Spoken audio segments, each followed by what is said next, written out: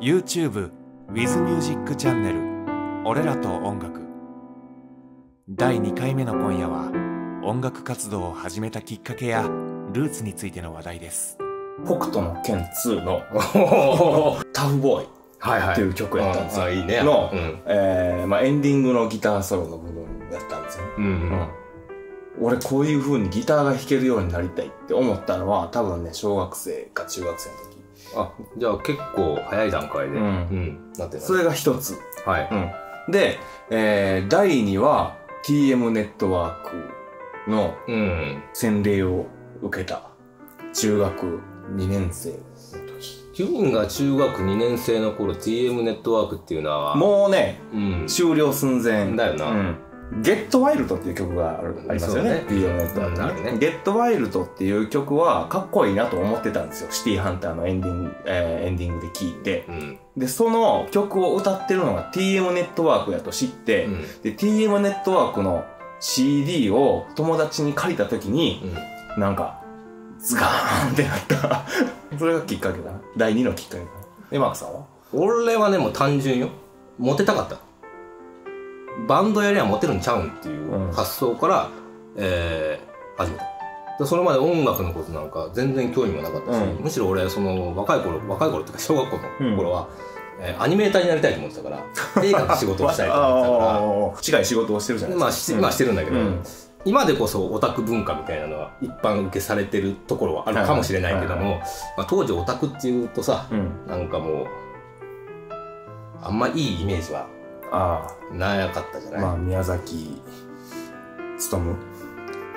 つともね、早尾じゃなくて。ちゃうよ。だからそういうのもあったんで、その、まあ、ちょっとこの殻から抜け出したいなっていうのはずっと思ってた。うん。で、えー中学卒業して、春休みかな、うんかなんかに友達に、バンドやるみたいなうん。感じで誘われて、あ、バンドやればモテるわと。うん。女の子と話せるきっかけがうん。できるうんっていう考えてうん始めたから、そのそもそも音楽が好きでやり始めたわけでも何でもないし、うわあ全然、じゃあ俺と全然。違う違う違う誰かアーティストの影響でとかそういうのじゃない？じゃないじゃない。単純明快。モテたかったっていう。んまあ、ジャンルがさ、ビジュアル系っていう部類でやってたっていうのもあるからあ。ビジュアル系？うん。うんその頃は、うん。まあ、モテたよ。あうん。多分、その辺の一般の人よりは。モテてたと、はず、と信じたい。うんうん俺たちが若かった頃まだバンドっていうのがね、流行ってましたからね。そうそうそうそうそう。うんどういうのコピーしてたんですか？あのね、当時こ、一番最初にコピーしたのは、うんボーイ。やっぱボーイ、うん。で、ボーイから入るでしょ？あ、な、ちょっと、何コピーした？と TM ネットワークですよ。だって、ん？ギターボーカルでしょ？今ギターボーカル。ギターでしょ？ギターですね。?TM でギター？いや、違う、違う、違う違う。俺らと？音楽バンドをやろうと思って、うん。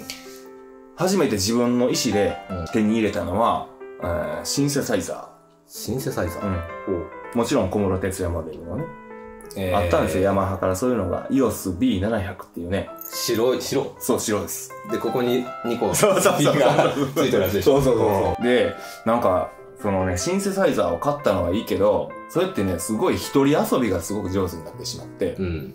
なんかシーケンサーついてるうん。で、打ち込みができるんですね。うんだから一人でずっとヘッドホンで、ずっと自分の世界にこもって、一曲丸々こう仕上げてしまうことができるんですよ。でもなんかこれって一人ぼっちやんって。うんうん何歳の時でしたバンド？こんな。俺、だから文化出ま、出まし出たた出た出た。あ、すごい。リア充じゃないですか。え？出てないの？出てないですよ。え、なんで？だから、だから友達がおらんかったからよ。え、でも、ぎ実際ギター買ってやり始めるわけでしょ？もうそれは遅遅いですよ、そんな。あ、遅かったな。うんみんなボーイとか言って固まっちゃってて、うん。なんかシンセサイザーができるってやってるや言ってるやつおるけど、なんか、色が違うみたいな。あじゃあ、高校の時とか文化祭出てないんだ。それこそオタクですよ。そら、かわいそう。大丈夫ですよ。うん。大学の時も、うん。それはちょっと引きずり気味で、実は社会人になってからなんですよ。初めてのバンド。あ、そう。それまで一人でずっと自分の音感を磨いてました。自分で曲作ったり、まあ MTR 買ってレコーディングしたりして、オリジナルっていうのはいっぱい溜め込んでたけど、発表する機会はずっとなかったんですよ。まあそのね、自分で曲をつくいっぱい作り込んで貯めるっていうのはすごくいいことだと思うんだけど、う外に出さないとやっぱね。そう。で、みんなでやっぱやらないとね、うん音楽って楽しくないじゃない、そうそうそうそう。んあ、もったいないね、それは。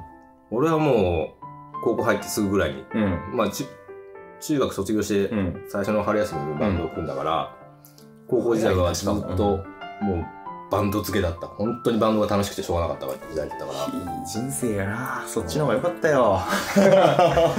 それをね、うんルナシーだとか、うんデランジェだとか、X、デランジデランジェだとか、X だとかコピーして、うん。まあ文化祭も出たよ。うん。いいなまあだから当時のそのビデオとかもちょっと残ってたりするから、見たりすると、まああへったくそなんだけど、あまあ楽しそうにやってんだよ。ああ、それは楽しいでしょうよ。あれ、なんかバンヤロとかでメンバー募集とかしなかったバンヤロは活用しましたよ、俺も。バンヤロに俺も出したし、で、バンヤロにのこに出してるのに俺応募もしました。の結構何回もやってる。そう。やるよね。うん俺も結構完全プロ志向って書いて完全プロ志向ね。空東方間空間的広がりのある音を求めるとか、ヤンキーバスとか。ヤンキーバツね。ううんルックス重視。そうそうそうそう。バンド中心に活動できるから。うん俺らと音楽。バンド自体はじゃあそんなにがっつりがっつりは、だからほんまに25歳の時からの。遅いな。うん、遅いんですよ。やっとそっから、コンさんとのライブとかし始めて、うん。俺25の頃は、あ、もう俺もうやめとったでしょ。いや、まだやめてなかったけど、ん。あ、もう俺才能ないわ。つって、もうやめよう。な、思ってた頃。あそうか。だからそれぐらいまでにもうほぼやりきった感はんあって、もうそれこそ年間50から100の間ぐらいでライブとかやっとったから、すげえ、いいなあもう一回戻ってそうやりたいわ。30が区切りやと思ってて、はいはもうひたすらやりましたよ。なんか全然うまくいかなかった。でも俺の中に曲のストックはバンバンあるみたいな。うん消化不良なんですよ。まだまだ。ああ、まだこうどんどん出していきたいと。そうそうそうそう。だから、この30代後半になってもねう、ん。なんか音楽っていうのは捨てられへんから、なるほど。なんかだからね、あの、最近その自分のチャンネルで、なんかしょうもない弾き語りみたいなバンバンバンバンこう出してしまってるんですよね。なるほど。うんはい YouTube というものを使ってね、そうね。なんかできへんかと。まあ、うんなるほどなるそうそうそうそう。まあ、じゃああれじゃん。今後、その、それこそオリジナルとかもやれる？そう、そのつもりですよ。そのつもりですよ。うん。どんどんちょうだいオリジナル。ちょうだいと？ちょうだいっていうか、出し、出してああ、なるほど。うん聞かせろと。うんんうんうん実際それをどんどん配信していけよ。うん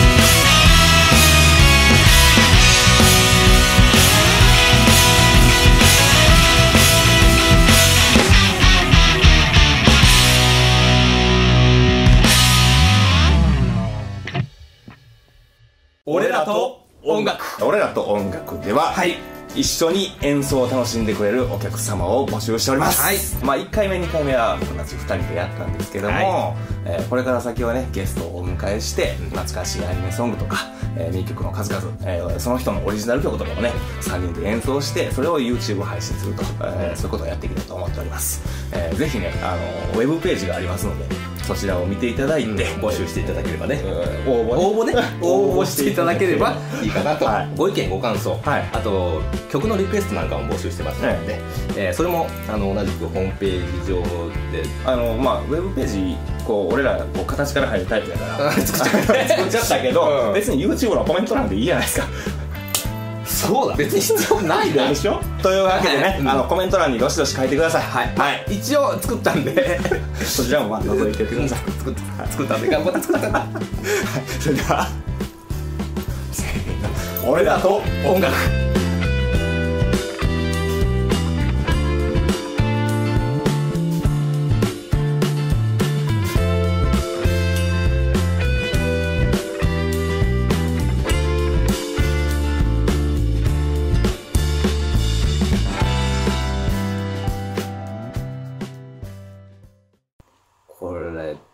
きり映ってるよね、きっと。うん、もう、もう気映ってるよ。